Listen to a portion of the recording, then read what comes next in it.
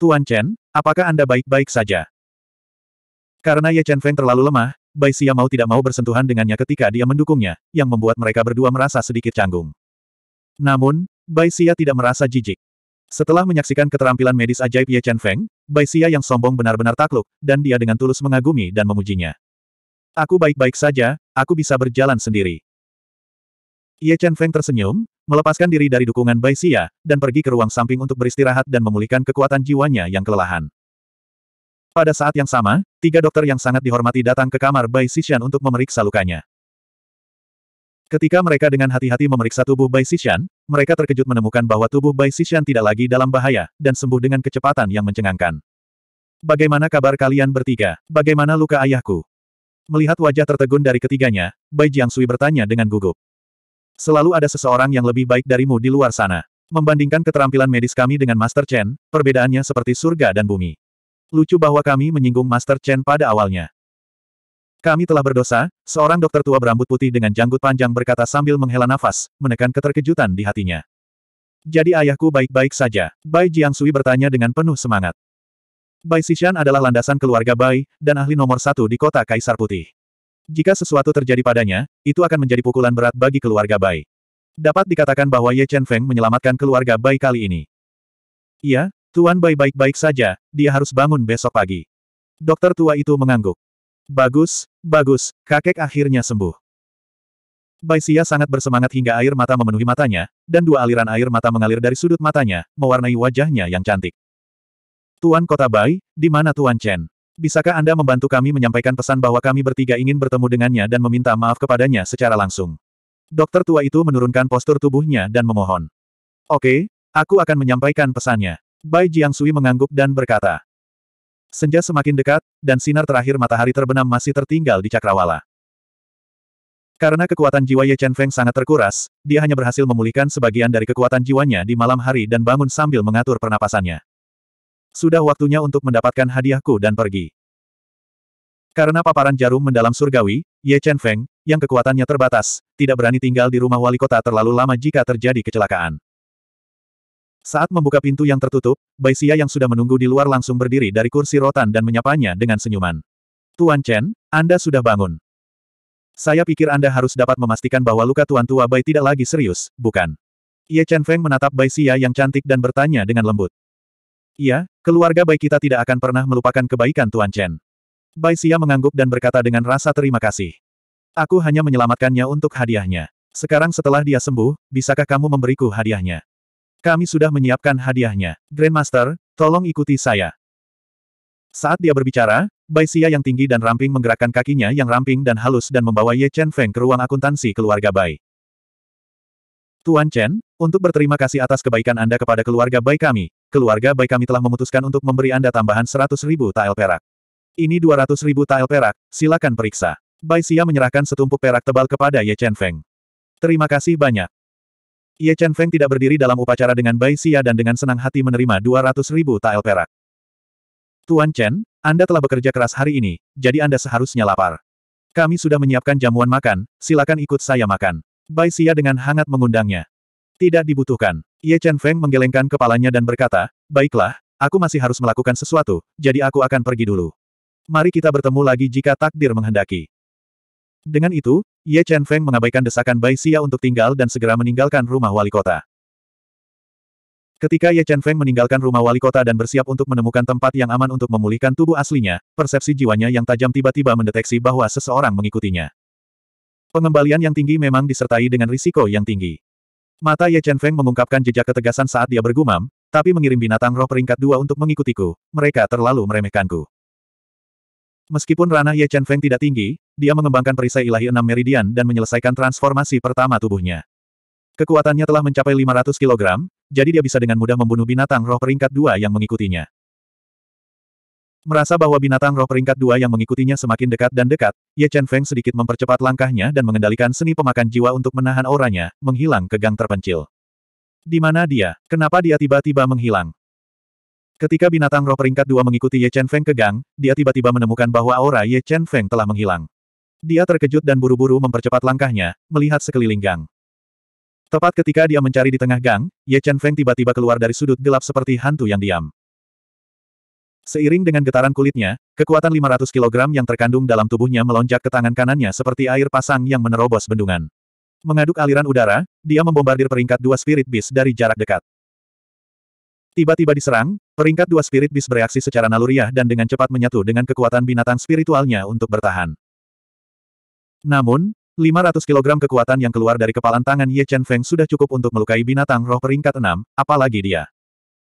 Dengan suara, krek peringkat dua Spirit Beast yang diserang oleh serangan diam-diam membuat dadanya ambruk. Seluruh tubuhnya membentuk lengkungan indah di udara dan jatuh dengan keras ke dalam gang. Sejumlah besar darah menyembur keluar dari mulutnya, dan dia hampir kehilangan kemampuan bertarungnya. Katakan padaku, siapa yang menyuruhmu mengikutiku? Ye Chen Feng keluar dari kegelapan. Melihat binatang roh peringkat dua yang sekarat yang muntah darah, Ye Chen Feng bertanya dengan cara yang tak tertahankan. Bunuh aku jika kamu punya nyali. Tidak mungkin bagiku untuk mengkhianati tuanku, kata spirit bis peringkat dua dengan tegas.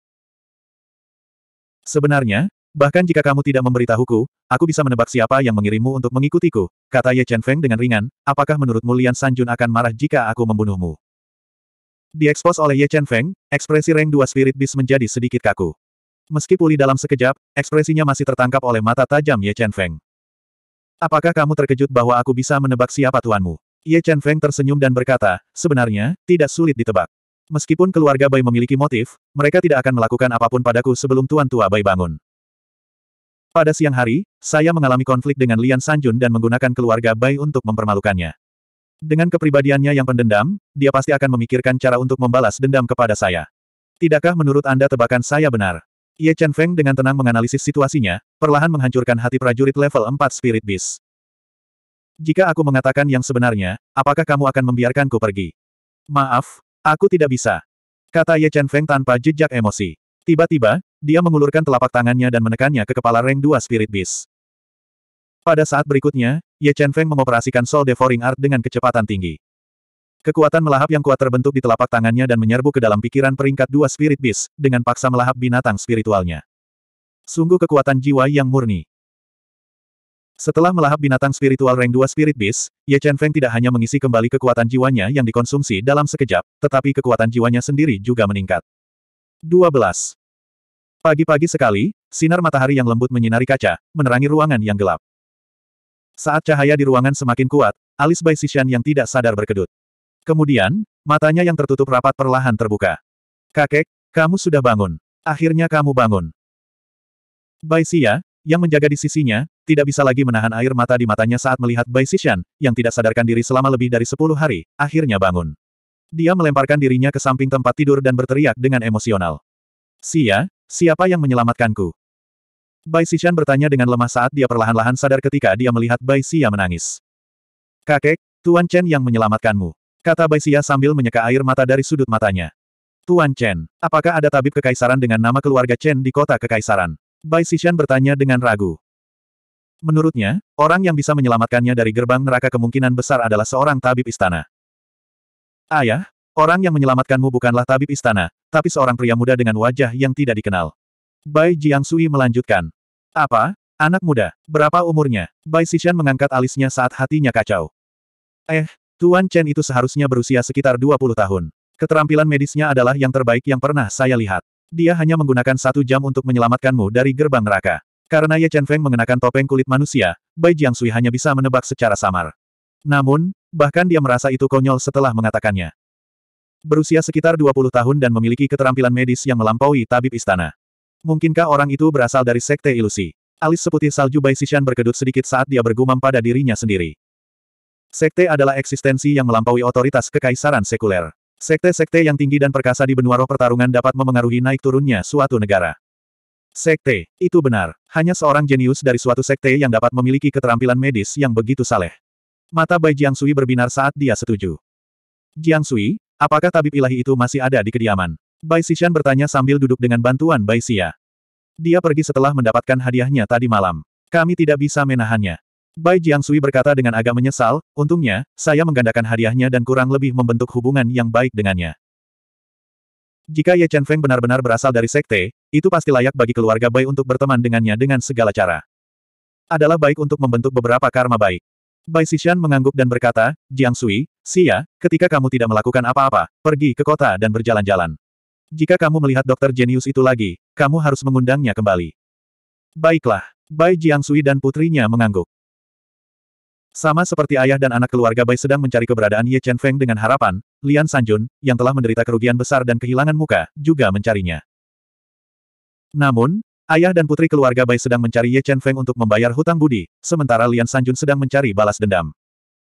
Hutan, kolam dalam, derek, akhir musim gugur. Keesokan paginya, Ye Chen Feng, yang telah memulihkan tubuh aslinya, menghabiskan hampir 180 ribu tael perak untuk membeli 16 kristal jiwa tingkat rendah dan memasuki pegunungan Baiyun untuk berkultivasi. Di samping kolam yang tenang di kedalaman pegunungan Baiyun, Ye Chen Feng memegang dua kristal jiwa tingkat rendah berwarna putih susu di tangannya, mengedarkan taktik pemakan jiwa dengan kecepatan tinggi untuk melahap dan mengolah. Setelah jangka waktu yang tidak diketahui, suara dua kristal pecah tiba-tiba terdengar. Dua kristal jiwa tingkat rendah di tangan Ye Chen Feng kehilangan kilau dan berubah menjadi bubuk, jatuh melalui celah di antara jari-jarinya dan jatuh ke tanah. Puncak peringkat satu makhluk roh, kekuatan fisikku meningkat 10%. Merasakan perubahan di tubuhnya, Ye Chen Feng mengungkapkan senyum tipis. Dia mengeluarkan dua kristal jiwa tingkat rendah yang berharga dan terus mengedarkan taktik pemakan jiwa untuk melahap dan mengolah. Aliran kekuatan jiwa murni mengalir ke tubuh Ye Chen Feng seperti gelombang yang tak terhentikan dan dimakan oleh telur darah di jiwanya. Saat telur darah melahap lebih banyak kekuatan jiwa, sebuah retakan muncul di permukaan telur darah. Ketika retakan ini menjadi lebih jelas, kekuatan jiwa yang kuat menyembur keluar dari telur darah dan menerobos kemacetan dalam satu gerakan, menembus ke alam binatang roh peringkat kedua. Kultivasi instan Ye Chen Feng menerobos, dia membuka matanya yang tertutup rapat. Berkas cahaya ditembakkan dari mereka. Setelah menerobos ke dunia binatang roh peringkat kedua, kekuatan jiwa Ye Chen Feng telah meningkat lebih dari dua kali lipat, dan kekuatan fisiknya telah mencapai 1.500 kg kekuatan fisik. Alasan mengapa dia bisa menerobos ke alam binatang roh peringkat kedua begitu cepat adalah semua berkat taktik pemakan jiwa. Kekuatan melahap yang luar biasa dari Soul Devouring taktik berada di luar imajinasi. Huh, andai saja aku memiliki persediaan kristal jiwa tingkat rendah yang tidak ada habisnya. Saat kekuatannya meningkat, semakin banyak kristal jiwa tingkat rendah akan dikonsumsi. Jika Ye Chen Feng ingin meningkatkan kekuatannya dalam waktu singkat, dia harus menemukan cara untuk mendapatkan uang untuk ditukar dengan kristal jiwa tingkat rendah atau langsung melahap makhluk roh musuh. Saat dia mengkonsolidasikan wilayahnya dengan seluruh kekuatannya, jeritan seorang wanita yang ketakutan tiba-tiba terdengar di hutan pegunungan yang sunyi, mengganggunya. Suara yang familiar, siapa itu? Ye Chen Feng sedikit mengernyit dan melirik hutan pegunungan timur laut. Setelah ragu-ragu sebentar, dia masih bergegas. Cantik kecil, Aku menyarankanmu untuk tidak melakukan perjuangan yang sia-sia. Tidak ada yang bisa menyelamatkanmu di sini. Percuma saja bahkan jika kamu berteriak sampai tenggorokanmu serak. Seorang pria parubaya berjubah hitam, dengan tubuh sedang dan bekas luka yang jelas di sudut matanya, menjilat bibir merahnya dan berkata dengan penuh semangat. Di depannya berdiri seorang wanita muda dengan setelan olahraga ketat berwarna hitam. Sosoknya sangat indah dan menawan, dan ada bekas darah di sudut mulutnya. Jika Ye Chen Feng ada di sini, dia akan dapat mengenali sekilas bahwa wanita menawan ini tidak lain adalah Kiao Jingyuan, putri tertua dari keluarga Kiao yang dulu memiliki hubungan baik dengannya tetapi sekarang menjadi orang asing. Jangan, jangan datang. Jika kamu berani menyakitiku, aku jamin keluarga Kiao tidak akan melepaskanmu. Kiao Jingyuan yang terluka memperingatkan dengan ngeri saat dia mundur. Pada saat ini, dia dipenuhi dengan penyesalan. Dia seharusnya tidak memasuki pegunungan Baiyun sendirian untuk berkultivasi. Jika bukan karena tindakan gegabahnya, dia tidak akan menemui pemerkosa dan membahayakan dirinya sendiri. Cantik kecil, jangan takut. Aku akan sangat lembut. Melihat penampilan cantik Yao Jingyuan, pria berpakaian hitam itu menjadi semakin bersemangat. Soul Beast, burung bersayap emas. Pada saat kritis ini, Kiao Jingyuan yang terluka tidak hanya duduk diam dan menunggu kematian. Dia mengatupkan giginya dan memanggil burung bersayap emas yang baru saja disebar oleh pria berpakaian hitam itu untuk membuat pertahanan terakhir. Kiao Jingyuan hanya peringkat dua Soul Beast sedangkan pria berpakaian hitam adalah peringkat empat Soul Beast. Burung bersayap emasnya sama sekali tidak bisa menimbulkan ancaman bagi pria berpakaian hitam itu. Saat pria berpakaian hitam itu menyatukan beruang hitamnya ke tongkat hitam di tangannya, cahaya putih muncul di tongkat itu dan meningkatkan kekuatan ofensifnya. Bang! Suara keras terdengar. Staf pria berpakaian hitam itu menghancurkan burung bersayap emas Kiao Jingyuan berkeping-keping seperti pisau panas menembus mentega. Serangan balik yang kuat melonjak ke dalam pikiran Kiao Jingyuan dan melukai jiwanya, menyebabkan sejumlah besar darah mengalir keluar dari tujuh lubangnya. Setelah mengalami serangkaian serangan kekuatan jiwa, Kiao Jingyuan, yang jiwanya terluka parah, menjadi sangat lemah. Kakinya menjadi lunak dan dia jatuh ke tanah. Saat ini, Kiao Jingyuan benar-benar ketakutan. Dia tidak berani membayangkan nasibnya. Air mata panas mengalir tak terkendali dan menodai wajahnya yang menawan. Apa? Tidak berjuang lagi. Pria berpakaian hitam itu menatap Kiao Jingyuan yang putus asa dengan senyuman di wajahnya. Dia berjalan ke arahnya dan mengeluarkan kantong kertas kuning, berkata, kemarilah, cantik kecil. Makan ini dengan patuh dan aku akan menjagamu dengan baik. Dengan itu, pria berpakaian hitam itu mengabaikan perlawanan Kiao Jingyuan dan memaksakan bubuk putih di dalam kantong kertas kuning ke dalam mulutnya. Kamu, bajingan, kamu tidak akan memiliki akhir yang bagus. Kiao Jingyuan bisa menebak apa yang diberi makan oleh pria berpakaian hitam itu dan mengutuk dengan putus asa. Haha, cantik kecil, akan lebih baik jika obatnya bekerja. Kutukan Kiao Jingyuan tidak membuatnya berhenti. Sebaliknya, itu membuatnya semakin bersemangat. Saat pria berpakaian hitam itu semakin dekat, Kiao Jingyuan mengungkapkan ekspresi sedih dan putus asa. 13. Tidak baik.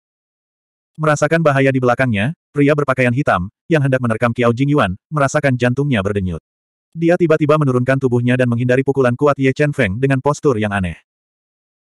Meskipun dia menghindari serangan langsung, pukulan kuat Ye Chen Feng membuat darahnya mendidih, membuatnya sulit bernapas. Siapa? Siapa kamu?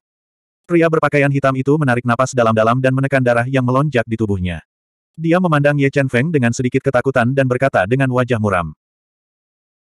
Kiao Jingyuan, yang putus asa, melihat Ye Chen Feng, yang muncul pada saat kritis seperti dewa yang turun ke dunia fana, dan matanya yang tak bernyawa bersinar terang. Ketika dia menatap Ye Chen Feng, dia merasakan keakraban jauh di dalam hatinya, seolah-olah mereka sudah saling kenal sebelumnya. Orang yang akan membunuhmu. Meskipun Ye Chen Feng tidak memiliki kesan yang baik tentang Kiao Jingyuan yang sombong dan arogan, dia tidak akan hanya melihatnya melangkah ke dalam lubang api tanpa melakukan apa pun. Dia berkata dengan niat membunuh. Kamu pikir kamu bisa melakukannya? Setelah menenangkan diri, pria berpakaian hitam itu menemukan bahwa kekuatan jiwa yang mengalir di tubuh Ye Chen Feng tidak kuat, jauh lebih rendah dari miliknya. Dia diam-diam menghela nafas lega dan mengendalikan beruang hitamnya untuk menyatu dengan tubuhnya. Setelah meningkatkan kekuatan jiwanya, dia melambaikan tongkat hitamnya dan memukulkannya ke kepala Ye Chen Feng. Pria berpakaian hitam itu menghancurkan tongkat di tangannya, tapi Ye Chen Feng tidak mengelak. Dia mengayunkan tinjunya untuk menemui bayangan tongkat yang tajam. Melihat pemandangan ini, pria berpakaian hitam itu menunjukkan senyum sinis. Menggunakan tinjumu untuk memblokir staf ular hitamku.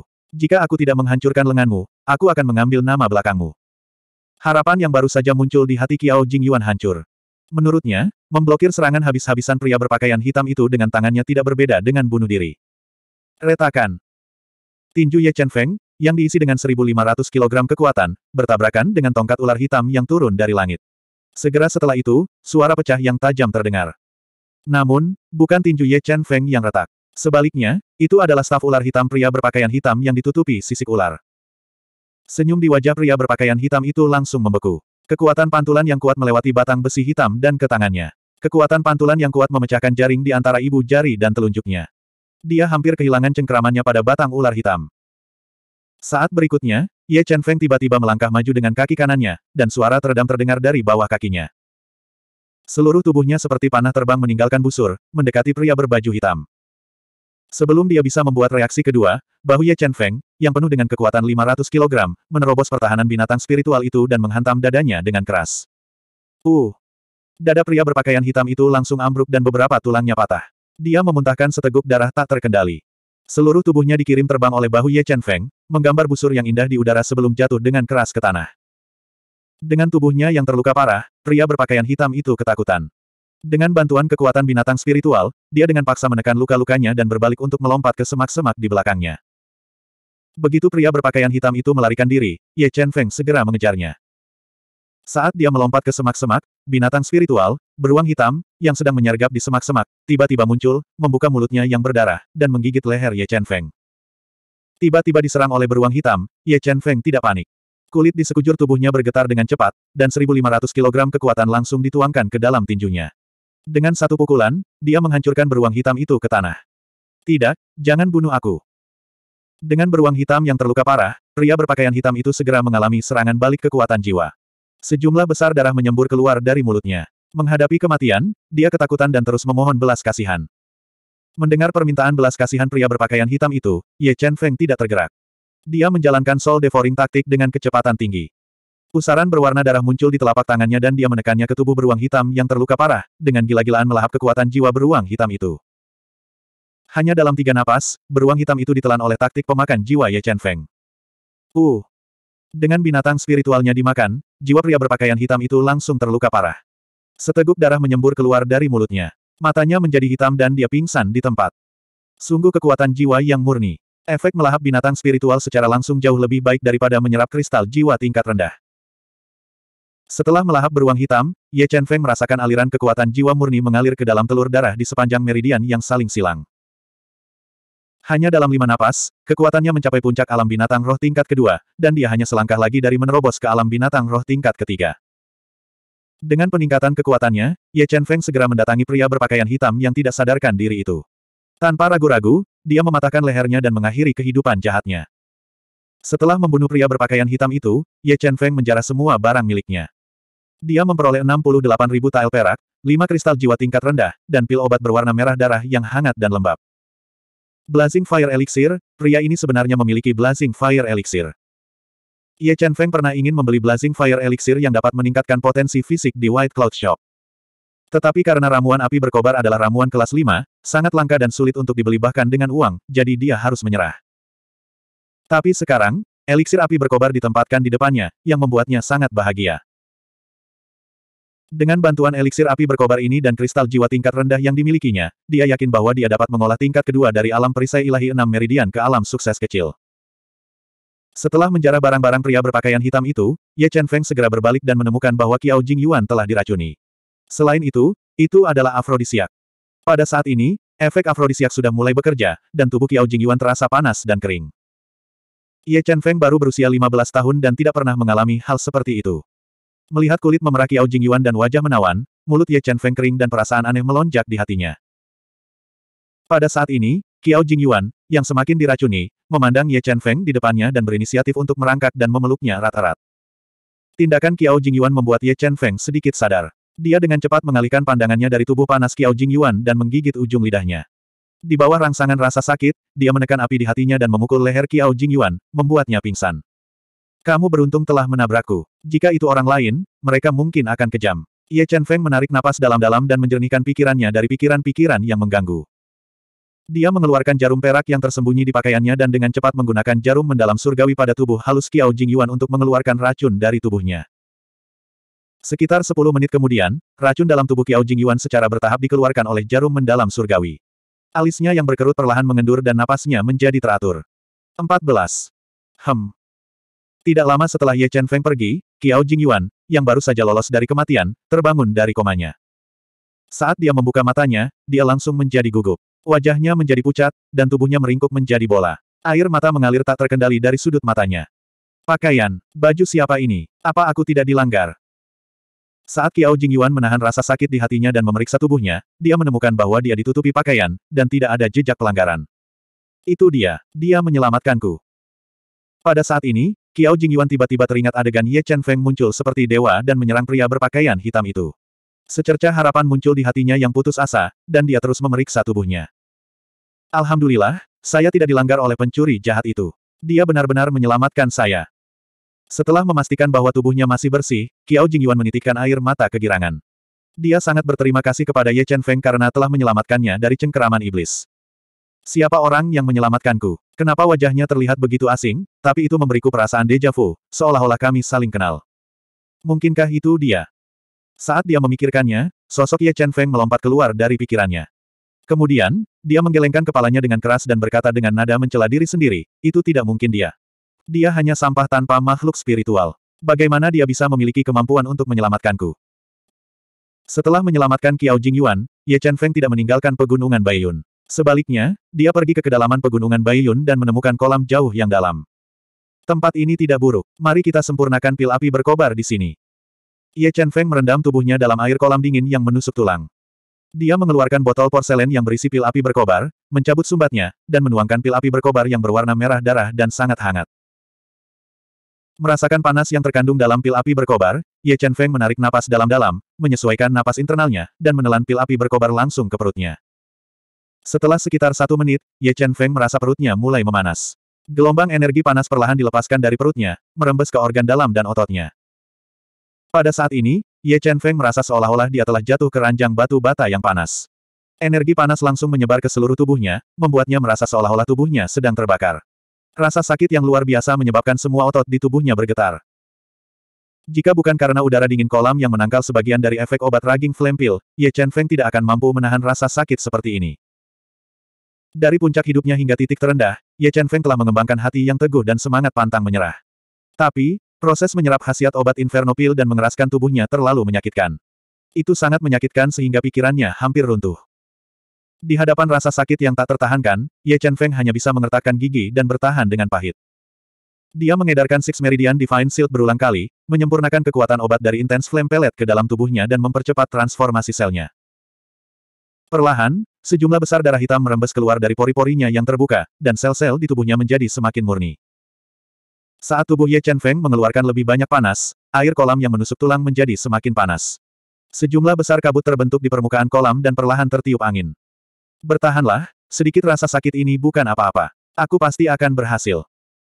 Ye Chen Feng menarik napas dalam-dalam dan mempercepat sirkulasi perisai ilahi enam meridian secara maksimal. Dia mengendalikan sel-sel di tubuhnya untuk dengan cepat melebur dengan kekuatan obat dari Intense Flame Pellet. Satu jam, dua jam. Sama seperti Ye Chen Feng dengan getir bertahan selama tiga jam dan pikirannya berada di ambang kehancuran, tiba-tiba, sel-selnya mulai membelah. Lebih banyak darah hitam dan bau dikeluarkan dari tubuhnya. Transformasi fisik, kelahiran kembali tubuh. Merasakan perubahan pada tubuhnya, Ye Chen Feng akhirnya menghela nafas lega. Dia terus menahan rasa sakit di tubuhnya dan menyelesaikan transformasi tubuhnya sedikit demi sedikit. Akhirnya, ketika kekuatan obat terakhir dari Intense Flame Pellet menyatu ke dalam tubuh Ye Chen Feng, sel-sel di tubuhnya memiliki ukuran lebih dari dua kali lipat. Banyak kotoran di tubuhnya juga telah dikeluarkan. Pada saat ini, meskipun tubuh Ye Chen Feng sangat lemah, dia merasa sangat bebas. Transformasi kekuatan tubuhnya telah meningkat secara eksponensial. Namun, masih ada celah besar antara dia dan alam pencapaian hebat. Tingkat kedua dari perisai ilahi enam meridian, alam penyempurnaan daging, memang tidak mudah untuk dikembangkan. Merasakan perubahan pada tubuhnya, Ye Chen Feng bergumam pada dirinya sendiri. Namun, dia tidak kecewa. Selama dia diberi sumber daya kultivasi yang cukup, dia yakin bahwa dia dapat mengolah enam alam dari perisai ilahi enam meridian dan mengolah kekuatan fisiknya secara ekstrim. Dengan peningkatan kekuatan fisiknya, Ye Chen Feng mencuci kotoran yang dikeluarkan dari tubuhnya dan meninggalkan kolam. Dia datang ke sebuah pohon kuno yang tingginya lebih dari 10 meter. Dibutuhkan empat orang untuk melingkarkan tangan mereka untuk mengelilinginya. Dia menguji kekuatan fisiknya. Ha! Ye Chen Feng meraung. Semua otot di tubuhnya bergetar dan kekuatan yang kuat dituangkan ke tangan kanannya. Itu membentuk lapisan angin kepalan dan membombardir pohon kuno yang tingginya lebih dari 10 meter. Dengan suara, kaca pohon kuno itu tidak mampu menahan kekuatan ledakan dari kepalan tangan Ye Chen Feng. Sejumlah besar retakan menyebar di permukaan batang pohon yang tebal dan kokoh. Ketika retakan menyebar ke seluruh batang pohon, pohon purba yang tingginya lebih dari 10 meter itu patah menjadi dua. Puncak pohon yang rimbun menghantam tanah dengan keras, menghancurkan lebih dari 10 pohon kecil dan menyebabkan tanah bergetar hebat. Kekuatan 2500 kg. Dengan kekuatanku saat ini, aku bertanya-tanya apakah aku bisa bertarung melawan bis ilusionis peringkat satu. Merasakan peningkatan kekuatan setelah transformasi tubuhnya, Ye Chen Feng mengungkapkan senyum puas. Saat ini, dia bisa menghancurkan Master Beast Spiritual peringkat 6 dan menantang Beast Ilusionis peringkat 1 hanya dengan kekuatan fisiknya. Namun, setelah menerobos ke Beast Ilusionis Realm, dia akan mampu menumbuhkan keterampilan jiwa yang menakutkan. Akan sangat sulit baginya untuk mengalahkan Beast Ilusionis hanya dengan kekuatan fisiknya. Karena potensi tubuh fisiknya tidak dapat ditingkatkan dalam waktu singkat, Ye Chen Feng memutuskan untuk mencoba dan menerobos ke alam Master Binatang Spiritual peringkat 3 untuk meningkatkan kekuatannya. Dibandingkan dengan transformasi tubuh fisiknya, meningkatkan kekuatan jiwanya lebih mudah bagi Ye Chen Feng yang mengolah taktik pemakan jiwa. Di bawah kekuatan penuh taktik pemakan jiwa, kekuatan jiwa dari kristal jiwa tingkat rendah dengan cepat mengalir ke tubuh Ye Chen Feng dan dimakan oleh telur darah di jiwanya. Ketika Soul Crystal tingkat rendah terakhir kehilangan kekuatan jiwanya dan berubah menjadi tumpukan bubuk, retakan bening lainnya muncul di permukaan telur darah. Setelah itu, kekuatan jiwa yang kuat menyembur keluar dari telur darah dan bergabung dengan tubuh Ye Chen Feng, mendorong kekuatan jiwa di tubuhnya terus meningkat. Dengan sangat cepat, dia menerobos kemacetan dan mencapai alam master binatang spiritual peringkat tiga. Hanya dalam satu hari, Ye Chen Feng menerobos dari master binatang spiritual peringkat dua ke master binatang spiritual peringkat tiga. Kecepatan kultivasi semacam ini tidak terbayangkan di kerajaan Si Jin. Itu cukup untuk menunjukkan betapa berharga dan pentingnya taktik jiwa. Sudah waktunya untuk kembali. Ye Chen Feng menarik napas dalam-dalam dan berdiri di samping kolam yang dalam. Dia meregangkan tubuhnya dan meninggalkan pegunungan Baiyun di malam hari. 15. Angin malam berdesir. Ketika Ye Chen Feng kembali ke halaman sewaannya di malam yang gelap, dia samar-samar melihat sosok ramping dan anggun berdiri di luar halaman. Terkejut, dia berhenti. Bagaimana mungkin itu dia? Mengapa dia datang ke kota Kaisar Putih? Meskipun dia tidak melihatnya selama bertahun-tahun, Ye Chen Feng masih mengenalinya pada pandangan pertama. Dia adalah wanita cantik nomor satu di Valet Gold Imperial City, Ji Sui, yang telah dijodohkan dengannya ketika dia masih kecil. Ye Chen Feng sudah lama menyerah pada fantasi apa pun tentang Ji Sui, tetapi ketika dia pertama kali melihatnya, dia masih terpana. Ciri-cirinya sangat indah, rambut hitam panjangnya dengan santai menutupi bahunya, dan tubuhnya montok. Temperamennya elegan dan luar biasa. Secara khusus, matanya yang besar dipenuhi dengan kecerdasan. Dengan hanya sekilas, seseorang tidak bisa tidak berlama-lama di dalamnya, tidak dapat melepaskan diri. Ye Chen Feng menatap Ji Sui dengan tatapan kosong. Ji Sui juga mengukurnya. Pipinya halus dan cantik, dan matanya sedalam laut. Karena dia telah melunakkan tubuhnya untuk waktu yang lama, tidak ada satupun lemak di tubuhnya. Tubuhnya yang tinggi dan lurus memancarkan kejantanan yang samar. Meskipun Ji Sui merasa bahwa Ye Chen Feng telah berubah sedikit, tubuh bagian atasnya yang telanjang membuat Ji Sui mengerutkan kening dan merasa jijik. Dari detail kecil ini, kesan baiknya tentang Ye Chen Feng menghilang seperti asap. Setelah ragu-ragu sejenak, Ye Chen Feng perlahan berjalan mendekat dan bertanya, mengapa kamu datang? Aku punya urusan denganmu, jawab Ji Sui dengan lembut. Kamu datang untuk memintaku membatalkan pertunangan, kan? Ye Chen Feng menebak tujuan Ji Sui mencarinya, jadi dia langsung ke intinya. Apa? Apakah kamu benar-benar ingin memutuskan hubungan denganku? Ji Sui terkejut, matanya bersinar saat dia menatapnya. Mungkinkah kamu tidak mau? Ye Chen Feng samar-samar tersenyum dan balik bertanya. Jika aku mengatakan aku tidak mau, apakah kamu percaya padaku? Ji Sui berkata, jika saya ingin membatalkan pertunangan, saya tidak akan datang sendiri. Kalau begitu kamu datang karena, Ye Chen Feng mengerutkan kening, tidak dapat mengetahui tujuan Ji Sui tiba-tiba berkunjung. Apa, apakah kamu tidak akan mengundangku masuk? Ji Sui dengan tenang menatap Ye Chen Feng. Dia menemukan bahwa Ye Chen Feng benar-benar telah berubah. Jika itu di masa lalu, bahkan jika dia menahan diri, Ye Chen Feng masih akan sedikit bersemangat saat melihatnya. Tapi sekarang, Ye Chen Feng menatapnya dengan tatapan yang begitu tenang sehingga sedikit menakutkan. Jika kamu tidak keberatan dengan tempat kotorku, masuklah. Saat dia berbicara, Ye Chen Feng mendorong membuka pintu merah tua, yang terkelupas dengan cat, dan membawa Ji Sui ke halaman yang berantakan. Melihat lingkungan hidup Ye Chen Feng, Ji Sui tidak bisa menahan cemberut. Sebagai mutiara keluarga Ji, dia belum pernah ke tempat seperti itu. Berpikir bahwa dia harus tinggal bersama Ye Chen Feng di tempat yang kotor dan berantakan di masa depan, hati Ji Sui yang teguh sedikit terguncang. Namun, ketika dia memikirkan Jiang Klan yang sombong, konsekuensi jatuh ke tangan Jiang Sansui, dan jalur kultivasi ilusi, hati Ji Sui yang goyah menjadi kokoh kembali. Apakah kamu mau air? Ye Chen Feng mengambil satu set pakaian dari ruang dalam dan mengenakannya sebelum datang ke ruang luar yang sederhana. Dia memandang Ji Sui, yang berdiri di ruangan seperti peri, dan bertanya dengan lembut. Terima kasih, tapi aku tidak haus. Ji Sui menggelengkan kepalanya. Suaranya bergerak seperti oriole. Katakan padaku, mengapa kamu datang jauh-jauh ke sini untuk menemukanku? Anda tidak bisa berada di sini hanya untuk melihat saya, kan? Ye Chen Feng duduk di kursi kayu yang sudah usang dan menatap Ji Sui saat dia bertanya. Dia benar-benar berbeda sekarang. Sebuah pemikiran muncul di benak Ji Sui. Namun, ketika dia memikirkan bagaimana Ye Chen Feng tidak dapat mengubah fakta bahwa dia tidak memiliki binatang spiritual, dia dengan cepat menepis pikiran yang mengganggu di benaknya. Aku, aku ingin menikah denganmu. Ji Sui ragu sejenak, menggigit bibirnya yang kemerahan, dan memberitahunya tujuan sebenarnya. Menikahlah, Ye Chen Feng mengangkat alisnya, dan sedikit riak muncul di wajahnya yang tenang. Dia menatap lurus ke wajah cantik Ji Sui dan berkata, jangan bertele-tele. Dengan bakat dan statusmu, kamu tidak akan pernah mau menikah dengan sampah sepertiku yang diusir dari klan Ye. Apakah kamu dalam masalah dan ingin menggunakanku sebagai tameng? Saya. Ji Sui tidak menyangka Ye Chen Feng begitu tajam. Pertanyaan langsungnya mengacaukan semua rencana dalam benaknya, membuatnya sedikit terdiam. Katakan padaku tujuanmu yang sebenarnya, atau aku akan mengantarmu keluar. Kata Ye Chen Feng tanpa jejak emosi. Nada tegasnya membuat Ji Sui merasa sedikit bersalah. Aku memang dalam masalah. Ji Sui menarik napas dalam-dalam dan memberitahu Ye Chen Feng tentang pertemuannya dengan sangat rincin. Jiang Sansui mengejarmu. Mengapa kamu ingin menggunakanku sebagai tameng? Apakah menurutmu klan Jiang akan percaya bahwa kamu bersedia menikah dengan sampah? Kata Ye Chen Feng dengan senyum mencela diri sendiri. Karena kita bertunangan ketika kita masih muda. Ini adalah sesuatu yang diketahui oleh seluruh kota kekaisaran Jin.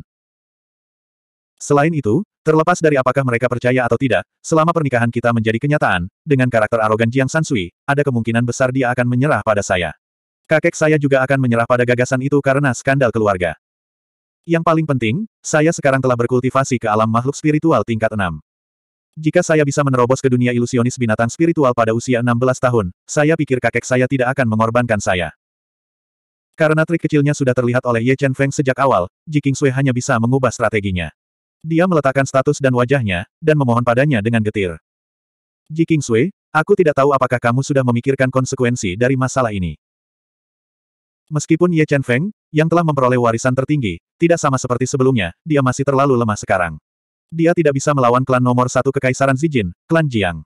Jika dia tidak hati-hati, dia mungkin diserahkan ke kutukan abadi. Aku tahu ini sangat tidak adil untukmu. Klan Jiang mungkin akan membalas dendam padamu karena masalah ini, tapi aku benar-benar tidak punya pilihan lain. Aku tidak ingin hidupku dihancurkan oleh bajingan Jiang Sansui itu. Tolong bantu aku, Ji Kingsui berkata dengan menyedihkan. Pada saat ini, Ye Chen Feng benar-benar ingin menolak, tetapi bagaimanapun juga, dia sangat menyukai Ji Kingsui. Dia tidak ingin melihatnya dirusak oleh Jiang Sansui. Melihat ekspresinya yang sengsara dan tak berdaya, hati Ye Chen Feng melunak. Ye Chen Feng, saya ingin berjanji kepada Anda bahwa setelah masalah ini diselesaikan, saya akan memberi Anda sejumlah besar uang dan membiarkan Anda pergi jauh. Pada saat itu, bahkan jika klan Jiang ingin membalas dendam pada Anda, itu akan terjadi menjadi tidak mungkin. Melihat Ye Chen Feng yang tenggelam dalam pemikiran mendalam, Ji Kingsui menggigit bibir merahnya dan berjanji. Bisakah kamu membayar uang sebanyak ini di muka? Ye Chen Feng sangat membutuhkan uang sekarang. Jika dia bisa membeli sumber daya kultivasi yang cukup sekarang, dengan warisan yang dia peroleh, kekuatannya akan meningkat pesat.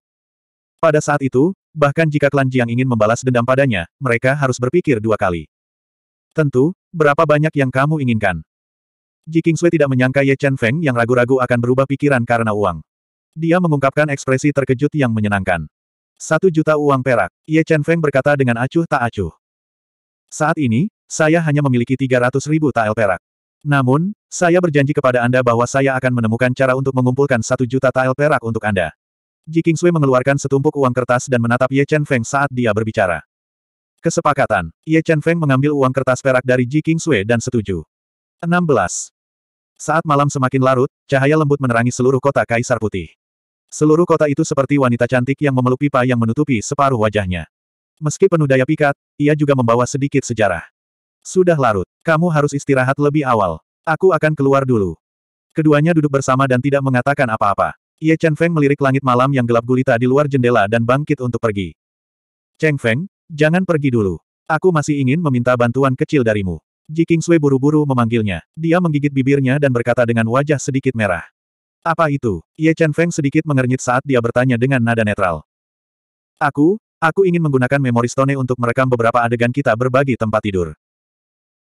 Meskipun kesan Ji Kingsui tentang Ye Chen Feng yang menggerutu uang semakin buruk, dia tidak bisa menahan perasaan canggung ketika harus berbagi tempat tidur. Tentu. Ye Chen Feng tahu untuk apa Ji Kingsui menginginkan adegan ini. Dia mengangguk dan sangat senang setuju. Ye Chen Feng, tunggu sebentar dan masuk. Aku akan ganti piyama dulu. Untuk membuat kakeknya dan Jiang Sansui benar-benar menyerah, Ji Kingsui berusaha sekuat tenaga. Dia dengan ringan menggigit bibir merahnya yang memikat.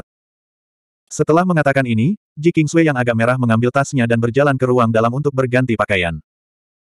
Setelah beberapa saat, suara menyenangkan Ji Kingsui terdengar dari ruang dalam, Ye Chen Feng, masuk. Setelah memasuki ruang dalam, Ye Chen Feng menggunakan cahaya redup untuk melihat dengan jelas Ji Kingsui dengan baju tidur hitam ketat yang duduk di samping tempat tidur dan menatapnya. Baju tidur yang ketat dengan sempurna menggambarkan tubuhnya yang indah yang bisa membuat pria mana pun tergila-gila. Kulitnya yang berkilau dan tembus pandang serta tulang selangka yang seksi dan simetris menciptakan godaan yang tak terlihat di bawah cahaya. Meskipun Ye Chen Feng sudah menyerah pada Ji Kingsui, dia harus mengakui bahwa pada saat ini, Ji Kingsui begitu cantik hingga membuat seseorang terengah-engah. Kamu Chen Feng, aku harus merepotkanmu. Bertemu dengan tatapan Ye Chen Feng, Ji Kingsui merasa tidak nyaman. Untungnya, dia yakin bahwa dia dapat sepenuhnya mengendalikan Ye Chen Feng dan tidak takut dia akan mengacau. Jangan khawatir, karena aku sudah mengambil uangmu, aku akan bekerja sama sepenuhnya. Ye Chen Feng mengalihkan pandangannya dari tubuh menggoda Ji Kingsui dan perlahan berjalan ke samping tempat tidur.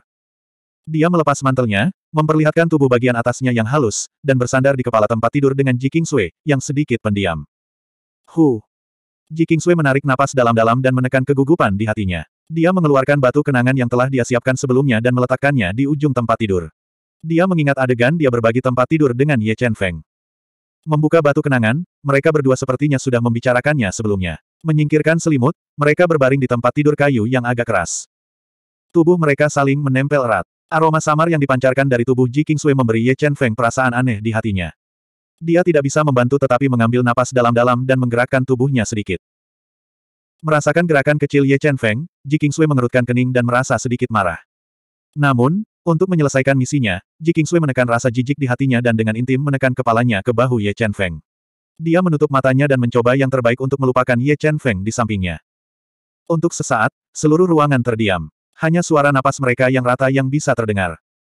Pada awalnya, Ji Kingsui masih sedikit tidak terbiasa begitu dekat dengan Ye Chen Feng.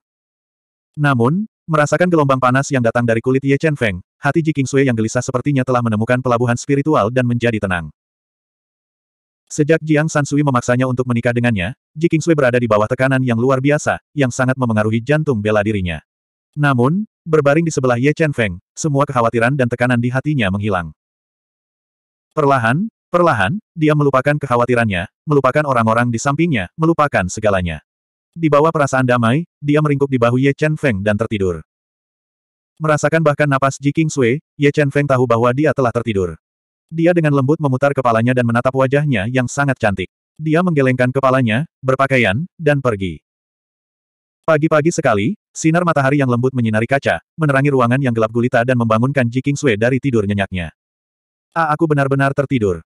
Ketika Ji Kingsui perlahan membuka matanya, dia tiba-tiba duduk. Wajahnya yang halus mengungkapkan ekspresi tidak percaya. Dia tidak dapat membayangkan bahwa dia benar-benar tertidur di bahu orang yang menyebalkan tanpa tindakan pencegahan apa pun. Jejak rasa takut yang tersisa muncul di hatinya. Dia tidak melakukan apa pun padaku, kan? Ketika dia memikirkan hal ini, hati Ji Kingsui menegang. Dia buru-buru menurunkan memori stone di ujung tempat tidur dan dengan agak gugup melihat kenangan itu. Ketika dia melihat bahwa dia tertidur di bahu Ye Chen Feng dan bahwa Ye Chen Feng tidak melakukan sesuatu yang tidak pantas padanya, dia menghela nafas lega.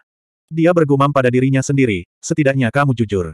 Jika kamu berani menyentuhku, aku pasti tidak akan melepaskanmu. Namun, Ketika dia melihat dirinya meringkuk di sisi Ye Chen Feng dan senyum tenang di wajahnya, Ji Sui mengungkapkan sedikit kebingungan dan keraguan.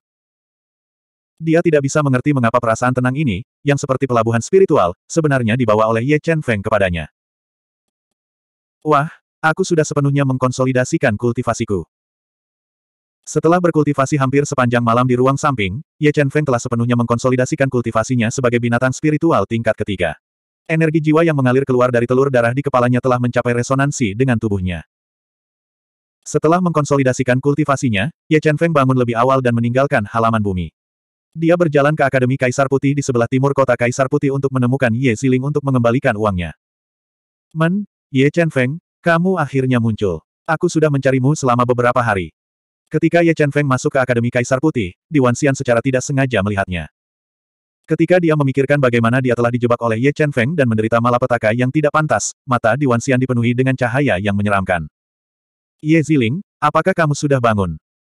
Ye Chen Feng datang ke halaman kecil Ye Ziling dan dengan ringan mengetuk pintu. Kamu Chen Feng, kenapa kamu mencariku lagi? Mendengar suara Ye Chen Feng, Ye Ziling sedikit mengernyit. Setelah ragu-ragu sejenak, dia mengenakan pakaiannya dan membuka pintu. Dia dengan dingin menatap Ye Chen Feng di luar dan berbicara dengan nada tidak bersahabat.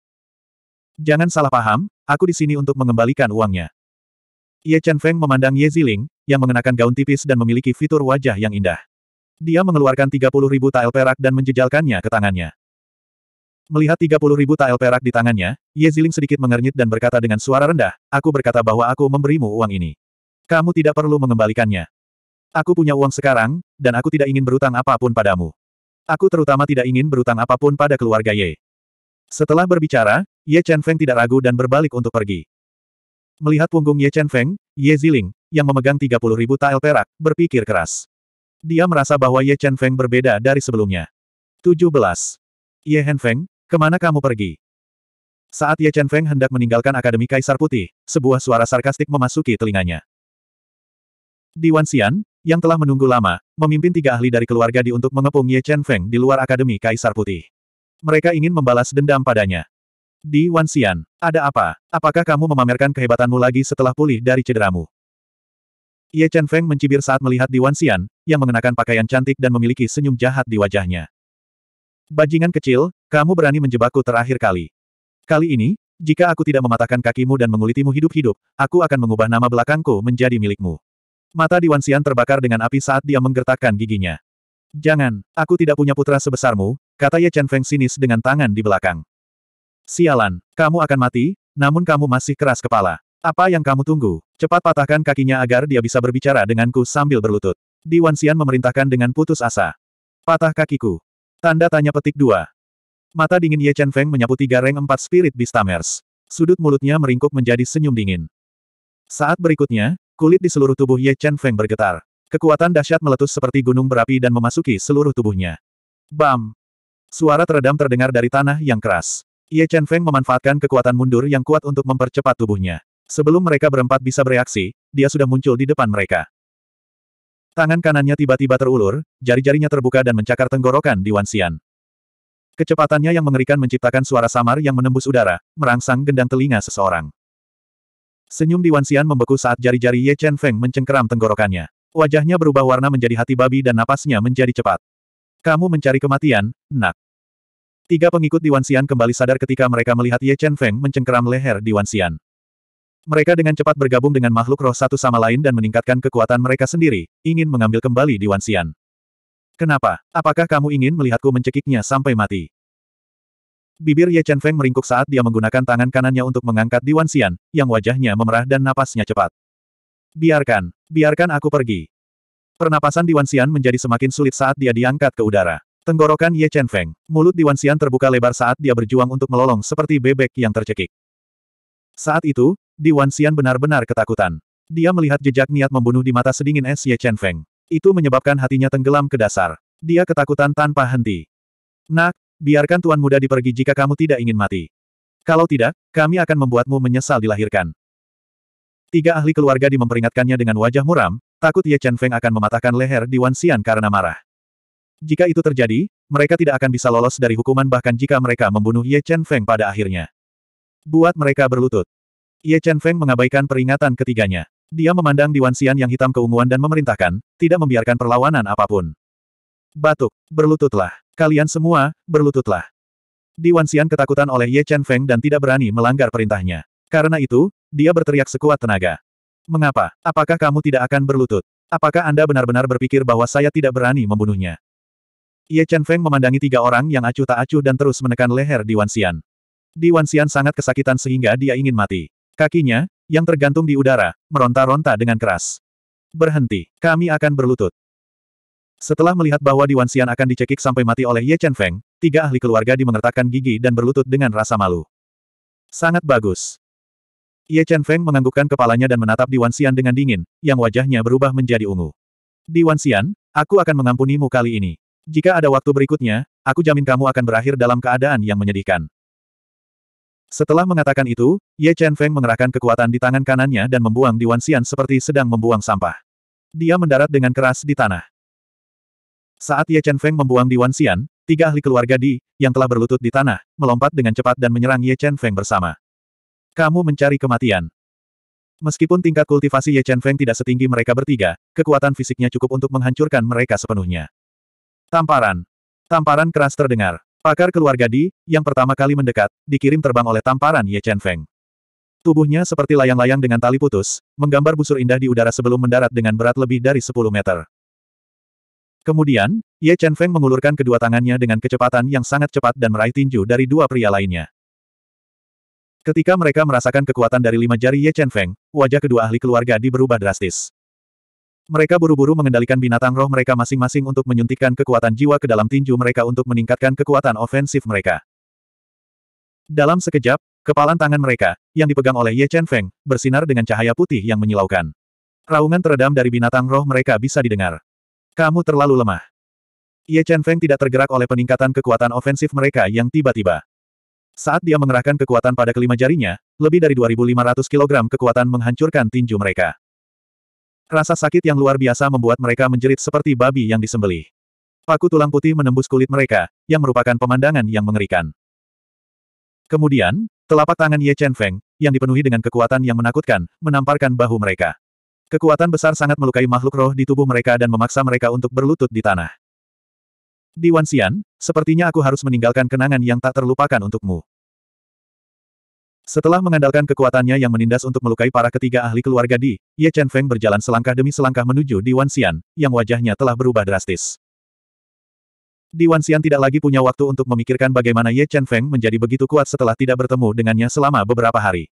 Yang bisa dia lakukan sekarang hanyalah merasa takut. Jangan gelisah, Ye Chen Feng. Merekalah yang menyerangmu, bukan aku. Jika kamu ingin membalas dendam, kamu harus membalas dendam pada mereka, kata Di Wanxian tanpa tulang punggung. Apakah begitu? Ye Chen Feng menatap dingin ke arah Di Wanxian yang ketakutan dan berkata, berlututlah. Anda. Wajah Di Wanxian berkedut saat dia menatap Ye Chen Feng dengan ekspresi jelek. Aku tidak suka mengulangi diriku sendiri. Jika kamu tidak berlutut, jangan salahkan aku karena mematahkan kakimu, kata Ye Chen Feng dengan niat membunuh sambil menatap Diwan Xian dengan dingin. Celepuk. Diwan Xian, yang sangat arogan beberapa saat yang lalu, tidak dapat menahan niat membunuh Ye Chen Feng yang menakutkan. Dia berlutut di tanah dalam penghinaan, kesombongannya hancur. Siapa orang itu? Beraninya dia memaksa Diwan Xian untuk berlutut di depan semua orang. Bukankah dia takut akan balas dendam keluarga Di? Aku tidak kenal orang itu, tapi kurasa identitasnya bahkan lebih menakutkan jika dia berani mempermalukan Di Xian di depan semua orang. Kerumunan di sekitarnya mulai mendiskusikan adegan Ye Chen Feng memaksa Di Xian untuk berlutut. Saat Di Xian berlutut dengan rasa malu, empat penegak hukum kebetulan lewat. Ketika dia melihat empat penegak hukum di kejauhan, Di Xian merasa seolah-olah dia telah melihat sedotan yang menyelamatkan nyawa. Karena itu, dia berteriak keras, tolong, tolong, Kapten Su, seseorang ingin membunuhku. Ketika dia mendengar teriakan minta tolong di Wanxian, Ye Chen Feng sedikit mengernyit saat beberapa pikiran melintas di benaknya. Mengingat status keluarga di, di kota Kaisar Putih, akan sulit baginya untuk melarikan diri hidup-hidup jika dia dibawa pergi oleh penegak hukum. 18. Minggir, minggir, apa yang terjadi di sini? Siapa yang melakukan pembunuhan di sini? Masa membubarkan diri untuk membuat jalan dan muncul empat aparat penegak hukum bersenjata. Kapten Su, saya di Wanxian. Penjahat ini ingin membunuh saya. Tolong selamatkan saya dengan cepat. Di Xian, yang sedang berlutut di tanah, berteriak sekuat tenaga saat melihat keempat penegak hukum berjalan perlahan.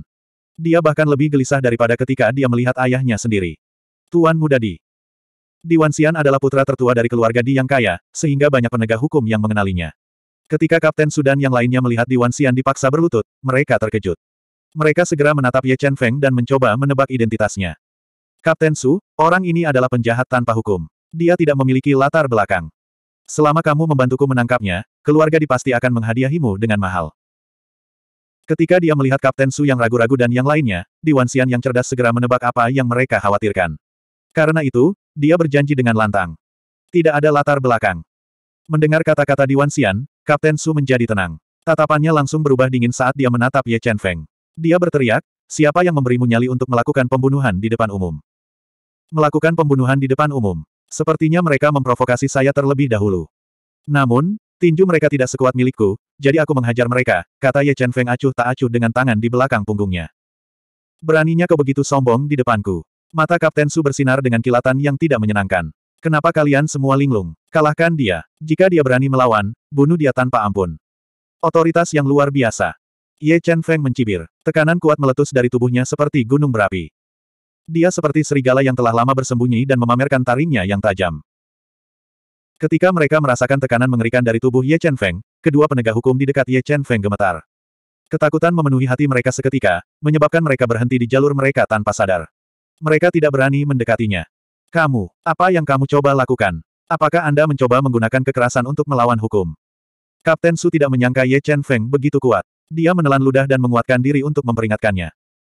Jika kamu tidak takut mati, datanglah bersamaku.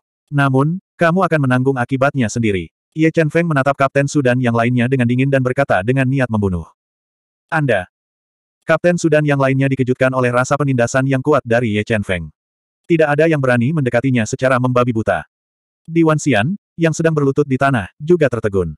Merasakan niat membunuh yang dipancarkan oleh Ye Chen Feng, butiran keringat muncul di dahinya saat tubuhnya sedikit gemetar. Tepat ketika situasinya sangat tegang dan pertempuran hebat akan pecah, Kiao Jingyuan, yang mengenakan gaun merah panjang dan memiliki sosok yang anggun, berjalan keluar dari Akademi Kaisar Putih dengan kaki panjang seksi dan berteriak, kamu Chen Feng adalah temanku. Siapa yang berani menyentuhnya? Nona Kiao. Meskipun keluarga Di dan keluarga Kiao sama-sama keluarga kaya di Pale Emperor City, status keluarga Kiao jauh melampaui keluarga Di. Melihat Kiao Jingyuan, Kapten Su, yang berada dalam dilema, diam-diam menghela napas lega dan dengan hormat menyapanya. Iya, Ye Chen Feng tidak menyangka Kiao Jingyuan akan muncul saat ini untuk membantunya. Dia sedikit mengernyit dan bertanya-tanya apakah dia telah mengungkap identitasnya ketika dia menyelamatkannya saat itu.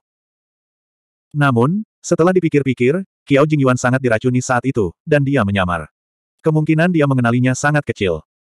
Selanjutnya, bahkan jika dia mengenalinya, Ye Chen Feng tidak akan mengakuinya. Kiao Jingyuan sangat cantik, tapi dia terlalu materialistis. Ye Chen Feng tidak memiliki niat terhadapnya, juga tidak ingin mengembangkan hubungan yang lebih dalam dengannya. Ye Chen Feng, ada yang ingin ku bicarakan denganmu. Bisakah kita berbicara secara pribadi? Kiao Jingyuan, yang sombong seperti burung merak, mengabaikan Kapten Su dan menatap Ye Chen Feng dengan tatapan rumit. Ketika Ye Chen Feng sedang mengajari di Wanxian sebuah pelajaran, Kiao Jingyuan secara kebetulan melihatnya. Ketika dia melihat Ye Chen Feng memamerkan kekuatannya, sosok di benaknya berangsur-angsur tumpang tindih dengan sosok Ye Chen Feng. Nona Kiao, temanmu baru saja memukuli tuan muda di tanpa alasan. Jika kita membiarkannya pergi begitu saja, kita tidak akan bisa menjawab keluarga di, kata Kapten Su dengan susah payah. Jika Anda tidak bisa menjawab keluarga Di, bagaimana Anda akan menjawab keluarga Ye? Dia pernah menjadi anggota keluarga Ye. Keluarga Ye saya tidak akan duduk dan melihatnya dianiaya. Sebelum Kiao Jingyuan dapat bereaksi, Ye Ziling, yang telah mendengar berita itu, muncul di luar Pale Emperor Academy. Hai. Ye Chen Feng tidak ingin berhutang budi lagi pada keluarga Ye, tetapi tanpa sadar, dia masih berhutang budi pada Ye Ziling. Keluarga Ye dari kota kekaisaran. Jika kemunculan Kiao Jingyuan membuat Kapten Su gelisah, kemunculan Ye Ziling membuatnya berpindah sisi. Jika dia menyinggung keluarga Ye dari kota kekaisaran, tidak akan ada tempat baginya di seluruh kerajaan Zijin, apalagi kota kaisar pucat. Maaf, Tuan Muda Ye. Saya tidak mengenali Anda sebelumnya dan menyinggung Anda. Harap bermurah hati dan jangan menurunkan diri Anda ke level saya. Kapten Su menyadari bahwa identitas Ye Chen Feng tidak sederhana dan segera mengubah sikapnya. Dia menundukkan kepalanya dan meminta maaf. Enyahlah, Ye Ziling berkata dengan dingin. Dia membenci orang-orang yang berubah sisi mengikuti angin. Aku akan enyah, aku akan enyah. Kapten Sudan yang lainnya seperti burung yang dikejutkan oleh dentingan busur dan pergi dengan tergesa-gesa. Setelah Kapten Su pergi, Di Wanxian, yang ketakutan setengah mati, tidak berani tinggal lebih lama lagi. Dia merangkak naik dari tanah dan melarikan diri secepat mungkin. Terima kasih. Setelah Di Wanxian dan yang lainnya pergi, Ye Chen Feng mengangguk pada Ye Ziling dan berterima kasih padanya. Kamu Chen Feng, kamu sendirian sekarang. Kata Ye Ziling dan kembali ke Akademi Kaisar Putih. Setelah semua orang pergi, Kiao Jingyuan memandang Ye Chen Feng dan bertanya dengan lembut, Ye Chen Feng, ada yang ingin saya tanyakan kepada Anda. Bisakah Anda menjawab saya dengan jujur? Apa itu? Ye Chen Feng bertanya meskipun dia sudah tahu jawabannya. Apakah kamu yang menyelamatkanku malam itu? Kiao Jingyuan menatap Ye Chen Feng dengan tatapan rumit. Ada beberapa antisipasi di matanya, tetapi juga ada keraguan. Malam itu, apa maksudmu? Apakah Anda mendapatkan orang yang salah? Ye Chen Feng mengerutkan kening dan pura-pura bingung. Itu benar-benar bukan kamu. Kiao Jingyuan tampak kecewa saat melihat tatapan bingung Ye Chen Feng. Meskipun dia tidak percaya bahwa orang yang menyelamatkannya malam itu adalah Ye Chen Feng, adegan Ye Chen Feng mengajari di Wanxian sebuah pelajaran terlalu mirip dengan orang yang memasuki pikirannya malam itu.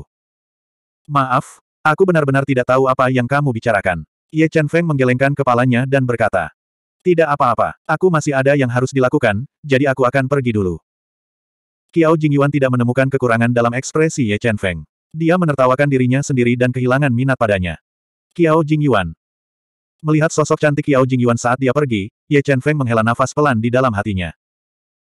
Setelah mendapatkan warisan otak pemakan jiwa, dia sudah memiliki panggung yang jauh lebih besar. Kerajaan Zijin hanya akan menjadi kenangan singkat baginya. 19. Angin musim gugur berdesir, dan sinar matahari yang lembut menyinari jalan-jalan dan gang-gang, menciptakan bintik-bintik cahaya kemasan.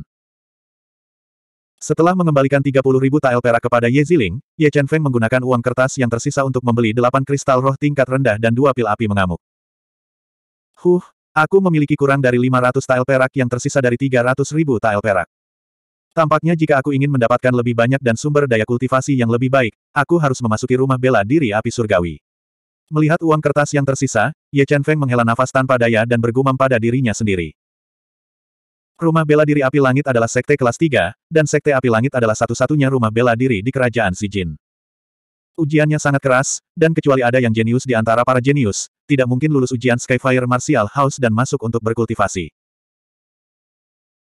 Namun, Begitu seseorang lulus ujian dan memasuki rumah bela diri api langit, mereka akan dapat memperoleh kemampuan ilahi tertinggi yang diturunkan oleh Sekte Api Langit, serta banyak keterampilan jiwa dan sejumlah besar sumber daya kultivasi.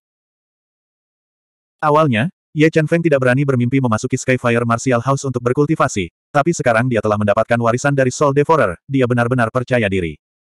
Hem, kenapa dia ada di sini? Saat Ye Chen Feng kembali ke halaman kecil yang dia sewa dengan sumber daya budidaya, dia terkejut melihat Bai Xia di halaman. Dia sedang mengobrol dengan Ji Kingsui di bawah pohon. Hari ini, Bai Xia mengenakan gaun sifon berwarna hijau giok. Kulit seputih saljunya yang terbuka menyilaukan di bawah sinar matahari, dan kakinya yang ramping seperti racun yang mematikan, memancarkan pesona yang memikat. Cheng Feng, kamu kembali. Melihat Ye Chen Feng di pintu masuk halaman, Ji Kingsui mengungkapkan senyum menawan, seperti istri yang baru menikah. Dia melangkah maju dan memegang lengannya, berbicara dengan penuh kasih sayang. King Sui, siapa ini?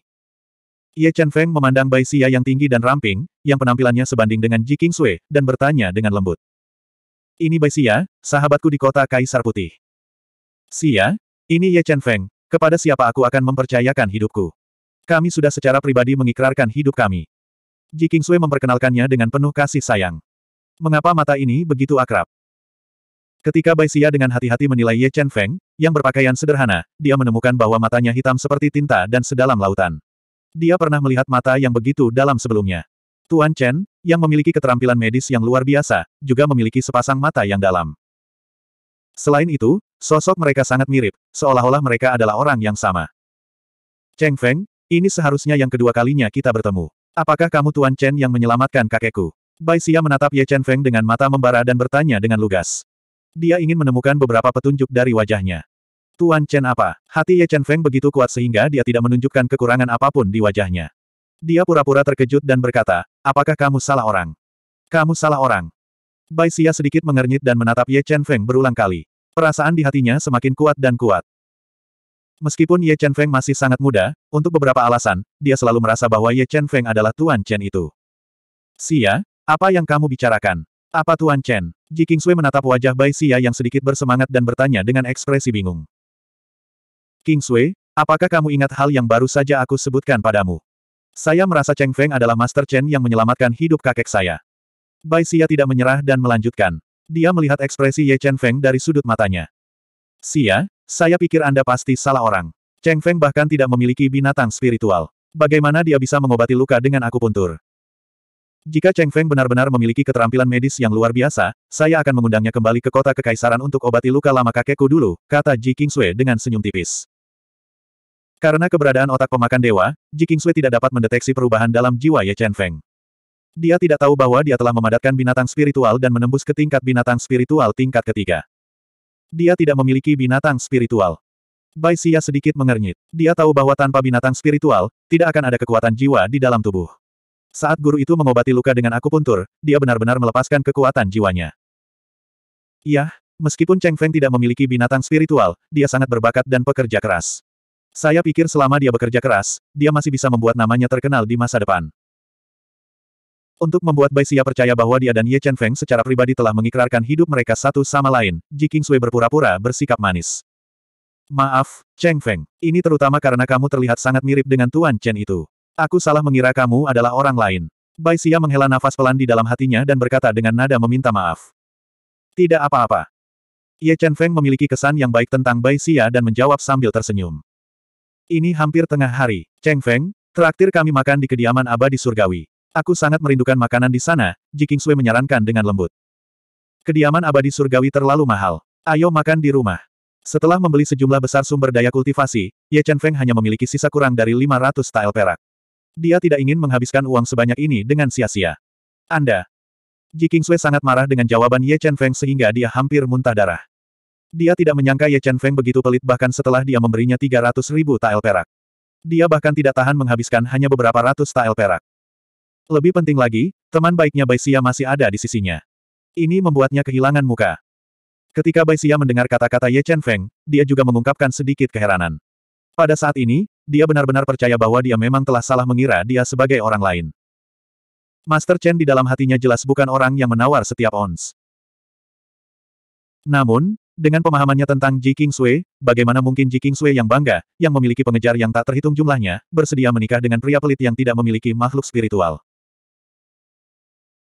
Melihat ekspresi Ji Sui sedikit berubah, Ye Chen Feng tanpa daya menghela nafas dalam hatinya dan berkata dengan murung, Baiklah, ayo pergi ke kediaman surgawi untuk makan, tapi jangan memesan makanan yang terlalu mahal. Aku benar-benar tidak punya banyak uang untukku. Aku tahu. Ji Sui mengertakkan gigi peraknya dan berkata dengan berat.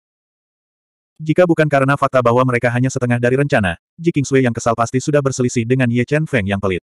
Rasa jijiknya padanya semakin kuat. Kediaman abadi surgawi memang layak menjadi restoran kelas atas di kota Baidi. Makanannya enak dan sisa rasanya tidak ada habisnya. Ji Kingsway penuh pujian saat dia makan. Dari waktu ke waktu, senyum menawan akan muncul di wajahnya yang sangat cantik. Namun, Ye Chen Feng sedikit tertekan karena makanan ini praktis memakan semua peraknya. Jika dia tidak memikirkan cara untuk mendapatkan lebih banyak uang, maka dia harus kelaparan seumur hidupnya. Oh benar, King Sui, lusa adalah ulang tahun ke-70 kakekku. Aku ingin mengundangmu dan Cheng Feng untuk hadir bersama. Apakah kamu punya waktu? Bai Xia mengundang sebelum mereka berpisah. Tentu saja kita punya waktu. Lusa, Cheng Feng dan aku pasti akan tiba tepat waktu. Ji King Sui setuju bahkan tanpa berpikir. Di sisi lain, Ye Chen Feng diam-diam menghela nafas. Setelah makan ini, dia hanya memiliki sisa sekitar 20 tael perak. Dia hanya tidak punya cukup uang untuk membeli hadiah. Baiklah, kalau begitu sampai jumpa lusa. Bai Xia mengungkapkan senyum menawan dan berpisah dari Ye Chen Feng dan Ji Sui di luar Celestial Immortal Residence. 20. Ye Chen Feng, kamu jelas memiliki 300 ribu tael perak. Mengapa kamu harus membuatku kehilangan muka di depan Xia? Apakah kamu sengaja melakukan ini? Begitu Xia pergi, senyum di wajah Ji Sui langsung menghilang. Dia dengan marah menatap Ye Chen Feng dan berkata dengan marah. Ji Kingsui, saya pikir Anda telah melupakan satu hal. 300 ribu tael perak itu sudah menjadi milik saya. Bagaimana saya ingin membelanjakannya adalah urusan saya. Selain itu, Anda masih berutang 700 ribu tael perak kepada saya, jadi tolong kendalikan dalam amarahmu. Kalau tidak, aku mungkin menarik kembali kata-kataku dan terus bertindak denganmu. Ye Chen Feng menjawab dengan dingin. Dia tidak mengakomodasi Ji Kingsui karena status dan penampilannya. Anda, Ji Kingsui tersedak oleh Ye Chen Feng. Mata besarnya yang indah dipenuhi dengan api kecil kemarahan. Juga, jika kamu ingin memberiku hadiah lusa, sebaiknya kamu memikirkan caranya sendiri. Aku tidak punya uang cadangan untuk membelikanmu hadiah. Setelah mengatakan ini, Ye Chen Feng tidak lagi memperhatikan Ji Kingsui yang menggertakkan giginya karena marah. Dia berbalik dan berjalan menuju Earth Courtyard yang dia sewa. Kamu Chen Feng, aku membencimu sampai mati. Sebagai mutiara keluarga Ji, Ji Kingsui tidak pernah diabaikan seperti ini. Melihat sosok kepergian Ye Chen Feng, dia dengan marah menginjak kakinya. Namun, ketika dia memikirkan situasinya sendiri dan kejahatan Jiang Sansui, Ji Kingsui hanya bisa menahan amarah di hatinya. Dia melepaskan martabatnya dan diam-diam mengikuti Ye Chen Feng kembali ke halaman bumi yang dia benci. Malam itu sunyi. Cahaya bulan yang dingin menyinari kota Kaisar Putih, memberi kota gelap itu secercah cahaya yang langka. Setelah kembali ke halaman bumi, dia langsung pergi ke ruang samping dan menutup pintu. Dia mengeluarkan kristal jiwa tingkat rendah dan mulai berkultivasi dengan menggunakan seni pemakan jiwa untuk menerobos ke alam binatang roh peringkat keempat. Ji Kingsui yang marah tidak mengganggunya. Setelah kembali, dia langsung mengurung diri di kamar dan bahkan tidak keluar untuk makan malam. Saat malam semakin gelap dan semakin gelap, Ye Chen Feng benar-benar tenggelam dalam kultivasinya. Indra tajamnya tiba-tiba mendeteksi tiga aura asing diam-diam masuk ke halaman dan perlahan mendekati rumah utama. Aku hanya khawatir tidak memiliki sumber daya kultivasi yang cukup, dan di sini kamu menyerahkan dirimu kepadaku. Ye Chen Feng membuka matanya yang tertutup rapat, sudut mulutnya meringkuk menjadi senyuman dingin. Siapa kamu? Namun, sebelum Ye Chen Feng bisa bergerak, Ji King Sui, yang sangat marah dan tidak bisa tidur, merasakan bahaya. Dia dengan cepat mengenakan pakaiannya dan bergegas keluar ruangan, bertarung sengit dengan tiga pria berbaju hitam dengan belati di tangan mereka di halaman.